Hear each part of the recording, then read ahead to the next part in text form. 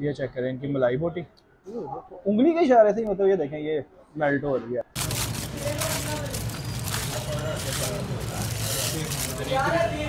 Piece, और ये check करें जी। ये देखें, हड्डी तक जो है ना, वो पक गया हुआ है। और ये। हाँ जी क्या रहे हैं पैक करके दे रहे हैं। अस्सलाम वालेकुम बैक तो जनाब, इस टाइम हम मौजूद है पंजाब तंदूरी टिक्का पे, जो कि मौजूद है कॉलेज रोड पे। यहाँ पे मिलने वाले टिक्के, पूरे गुजरावाला के टिक्कों से मुनफरद है। यहाँ पे बनने वाले टिक्के बनते हैं तंदूर में। वैसे तो यहाँ पे और भी बड़े सारे लोगों ने तंदूरी टिक्का शुरू किया था, लेकिन आज हम मौजूद हैं ओरिजिनली उस दुकान पे, जिसके मालिक ने यूके से आके यहाँ पे तंदूरी टिक्के का काम शुरू किया। मेरे साथ मौजूद है उनके बरखुदार आए थोड़ी सी उनसे गपशप करते हैं और आपको दिखाते हैं उनका तंदूरी टिक्का और सारा सेटअप गुजरावाला में तंदूरी बारबेक्यू सबसे पहले हमने मुतारफ करवाया है। बारह साहब मेरे दस साल यूके में ये बारबेक्यू का काम करते रहे हैं।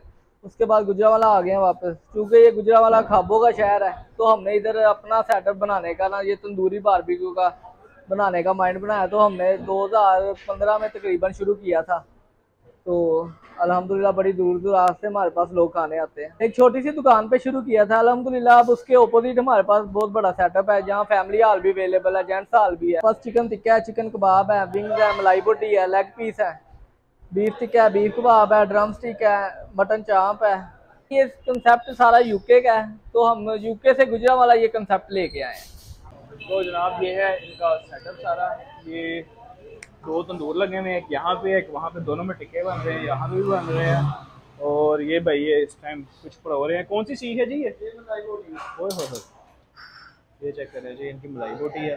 कब बोटी है? इसमें कितने पीस होते हैं? इसमें दस पीस होते हैं। ठीक है बाद जी ये विंग्स हैं?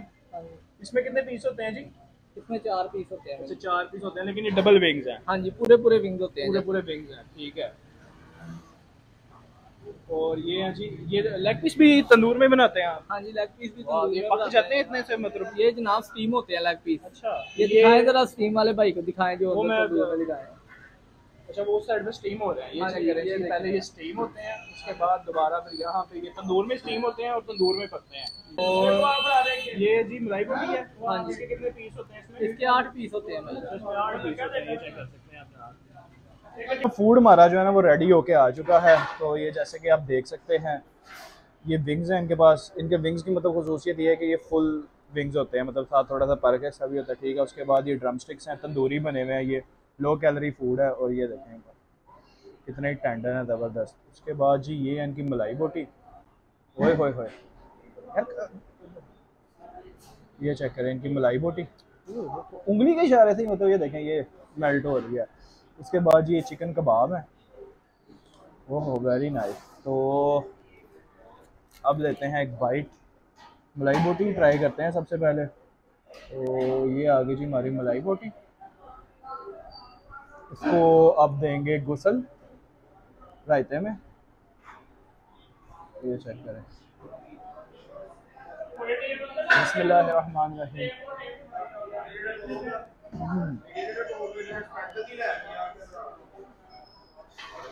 वेरी नाइस यार पीस और ये चेक करें जी. ये देखें हड्डी तक जो है ना वो पक गया है. और ये.